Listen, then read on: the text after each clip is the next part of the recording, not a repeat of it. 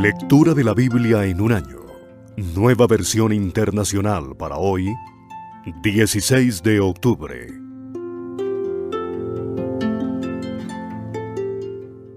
Nuevo Testamento de la Biblia. Evangelio según Mateo. Mateo, capítulo 1. Tabla genealógica de Jesucristo, hijo de David, hijo de Abraham.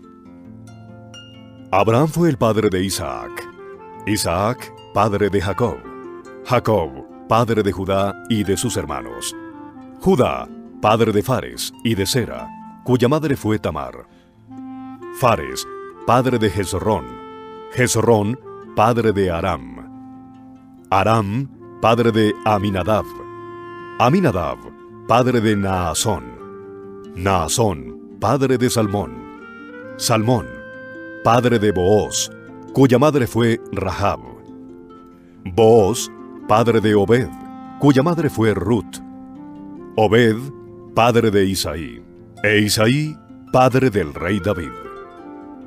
David fue el padre de Salomón, cuya madre había sido la esposa de Urías. Salomón, padre de Roboán. Roboán, padre de Abías. Abías, padre de Asa. Asa, padre de Josafat. Josafat, padre de Jorán. Jorán, padre de Usías. Usías, padre de Jotán. Jotán, padre de Acaz. Acaz, padre de Ezequías. Ezequías, padre de Manasés. Manasés, padre de Amón. Amón, padre de Josías. Y Josías, padre de Jeconías y de sus hermanos en tiempos de la deportación a Babilonia. Después de la deportación a Babilonia, Jeconías fue el padre de Salatiel. Salatiel, padre de Zorobabel. Zorobabel, padre de Abiud. Abiud, padre de Eliaquín. Eliaquín, padre de Azor. Azor, padre de Sadoc. Sadoc, padre de Aquín. Aquín, padre de Eliud. Eliud, padre de Eleazar. Eleazar, padre de Matán. Matán, padre de Jacob. Y Jacob fue padre de José, que fue el esposo de María, de la cual nació Jesús, llamado el Cristo. Así que hubo en total 14 generaciones desde Abraham hasta David. 14 desde David hasta la deportación a Babilonia y 14 desde la deportación hasta el Cristo. El nacimiento de Jesús, el Cristo, fue así. Su madre, María, estaba comprometida para casarse con José, pero antes de unirse a él, resultó que estaba encinta por obra del Espíritu Santo. Como José su esposo era un hombre justo y no quería exponerla a vergüenza pública, resolvió divorciarse de ella en secreto. Pero cuando él estaba considerando hacerlo, se le apareció en sueños un ángel del Señor y le dijo, José, hijo de David, no temas recibir a María por esposa, porque ella ha concebido por obra del Espíritu Santo. Dará a luz un hijo, y le pondrás por nombre Jesús, porque él salvará a su pueblo de sus pecados. Todo esto sucedió para que se cumpliera lo que el Señor había dicho por medio del profeta.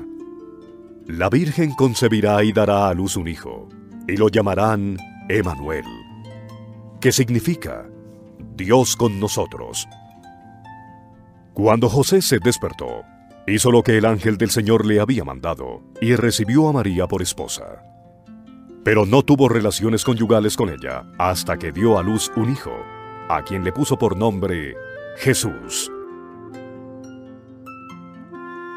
Mateo, capítulo 2 Después de que Jesús nació en Belén de Judea, en tiempos del rey Herodes, llegaron a Jerusalén unos sabios procedentes del oriente. ¿Dónde está el que ha nacido rey de los judíos? Preguntaron. Vimos levantarse su estrella y hemos venido a adorarlo. Cuando lo oyó el rey Herodes, se turbó y toda Jerusalén con él. Así que convocó de entre el pueblo a todos los jefes de los sacerdotes y maestros de la ley, y les preguntó dónde había de nacer el Cristo. En Belén de Judea, le respondieron, porque esto es lo que ha escrito el profeta. Pero tú, Belén, en la tierra de Judá, de ninguna manera eres la menor entre los principales de Judá, porque de ti saldrá un príncipe que será el pastor de mi pueblo, Israel. Luego Herodes llamó en secreto a los sabios y se enteró por ellos del tiempo exacto en que había aparecido la estrella. Los envió a Belén y les dijo, Vayan e infórmense bien de ese niño, y tan pronto como lo encuentren, avísenme para que yo también vaya y lo adore. Después de oír al rey, siguieron su camino y sucedió que la estrella que habían visto levantarse iba delante de ellos hasta que se detuvo sobre el lugar donde estaba el niño. Al ver la estrella, se llenaron de alegría. Cuando llegaron a la casa, vieron al niño con María, su madre, y postrándose, lo adoraron. Abrieron sus cofres y le presentaron como regalos oro, incienso y mirra. Entonces, advertidos en sueños de que no volvieran a Herodes, regresaron a su tierra por otro camino. Cuando ya se habían ido, un ángel del Señor se le apareció en sueños a José y le dijo, Levántate, toma al niño y a su madre, y huye a Egipto. Quédate allí hasta que yo te avise, porque Herodes va a buscar al niño para matarlo.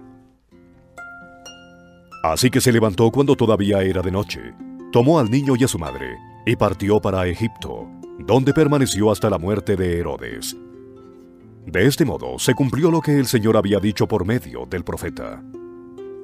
De Egipto llamé a mi hijo. Cuando Herodes se dio cuenta de que los sabios se habían burlado de él, se enfureció y mandó matar a todos los niños menores de dos años en Belén y en sus alrededores, de acuerdo con el tiempo que había averiguado de los sabios. Entonces se cumplió lo dicho por el profeta Jeremías. Se oye un grito en Ramá, llanto y gran lamentación. Es Raquel, que llora por sus hijos y no quiere ser consolada. Sus hijos ya no existen. Después de que murió Herodes, un ángel del Señor se le apareció en sueños a José en Egipto y le dijo, Levántate, toma al niño y a su madre, y vete a la tierra de Israel, que ya murieron los que amenazaban con quitarle la vida al niño. Así que se levantó José, tomó al niño y a su madre, y regresó a la tierra de Israel. Pero al oír que Arquelao reinaba en Judea en lugar de su padre Herodes, tuvo miedo de ir allá advertido por Dios en sueños, se retiró al distrito de Galilea y fue a vivir en un pueblo llamado Nazaret. Con esto se cumplió lo dicho por los profetas. Lo llamarán Nazareno. Mateo, capítulo 3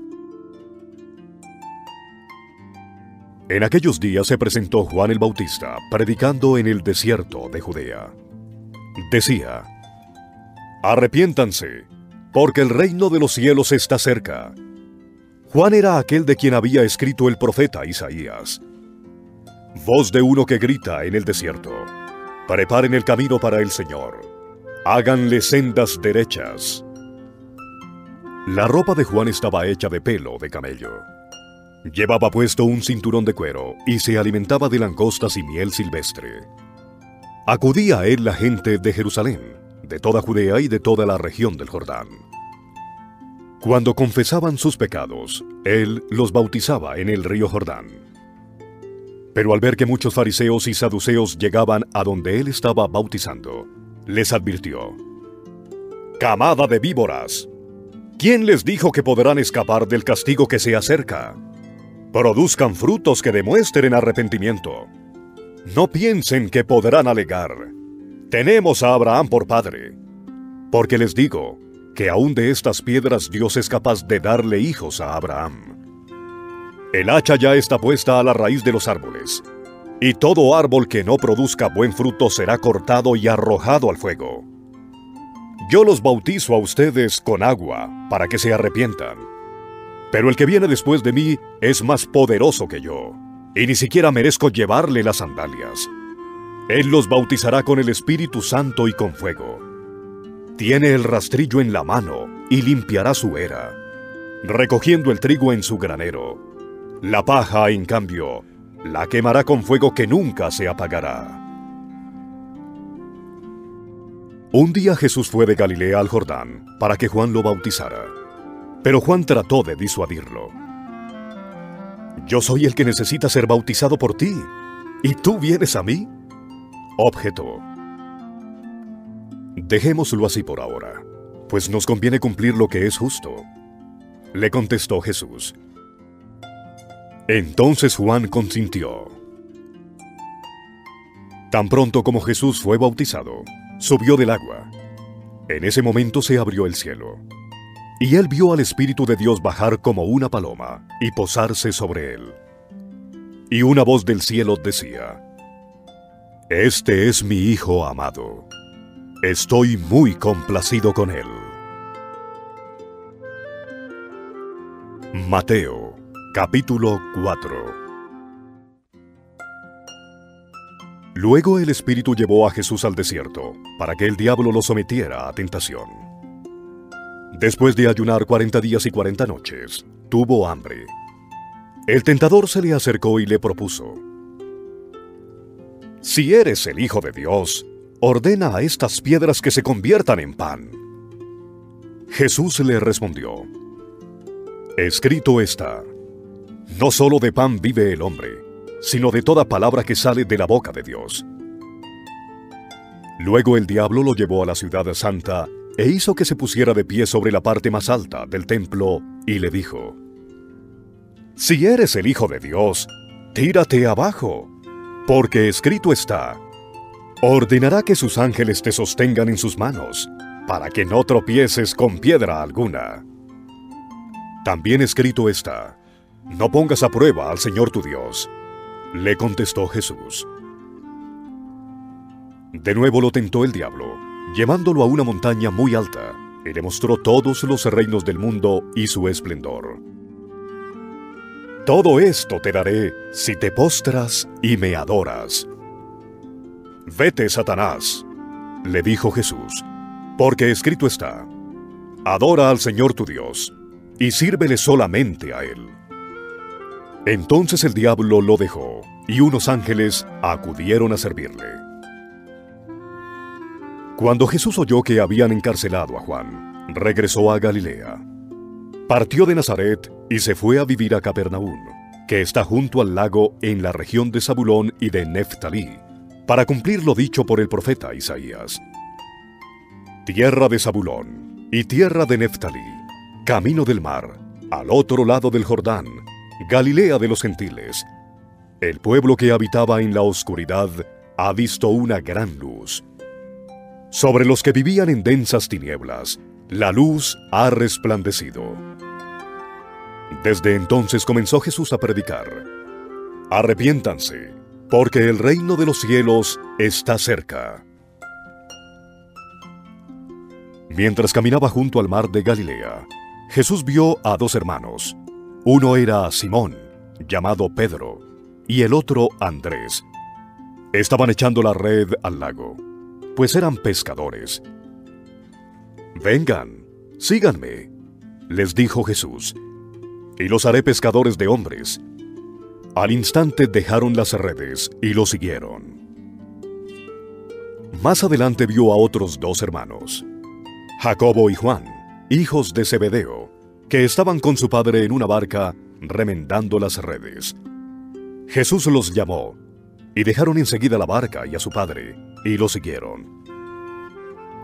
Jesús recorría toda Galilea, enseñando en las sinagogas, anunciando las buenas nuevas del reino, y sanando toda enfermedad y dolencia entre la gente. Su fama se extendió por toda Siria, y le llevaban todos los que padecían de diversas enfermedades, los que sufrían de dolores graves, los endemoniados, los epilépticos y los paralíticos, y él lo sanaba. Lo seguían grandes multitudes de Galilea, Decápolis, Jerusalén, Judea y de la región al otro lado del Jordán.